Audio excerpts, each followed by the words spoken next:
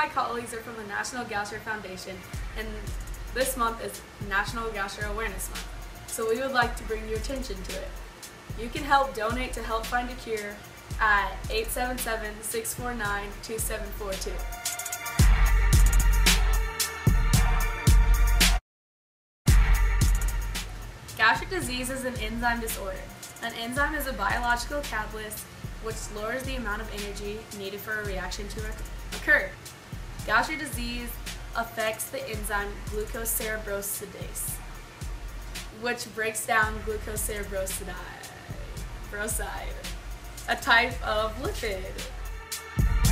Symptoms of Gaucher disease include, but are not limited to, bone pain slash fractures, cognitive impairment, easy bruising, enlarged spleen and or liver, fatigue, heart rate complications, lung disease, seizures, severe swelling at birth, skin change, or swollen belly. Males and females equally contract Gaucher's disease. 10,000 people are affected worldwide by this disease, and in order to get it, both of your parents have to have a recessive gene trait of it to give it to you. So therefore, it is a genetic disease. You're most likely to contract it if you're an Eastern European Jew, with 1 out of 450 of this culture group getting it. Conditions known to correlate with Gaucher's disease include growth delay in children or increased risk in contracting diseases such as Parkinson's or types of cancers including leukemia or lymphoma.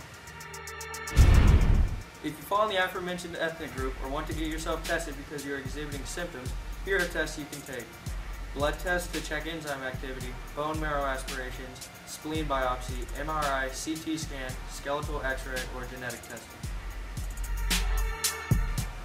Of the three types, type 2 is the most lethal, mostly found in infants. Most infants with this disease are likely to be dead by their second birthday. Type 1 is most common but is not very dangerous and found mostly in teens. Type 2, type 2 is very lethal and is found predominantly in infants and it primarily affects the brain and spinal cord. Type 3 is similar to type 2 but is not as dangerous because it shows up later in childhood. There is no found cure. Treatments for types 1 and 3 include medicine and enzyme replacement therapy, which is usually very effective. There are no treatments for the brain damage in types 2 and 3. Bone marrow transplants are available in extreme places.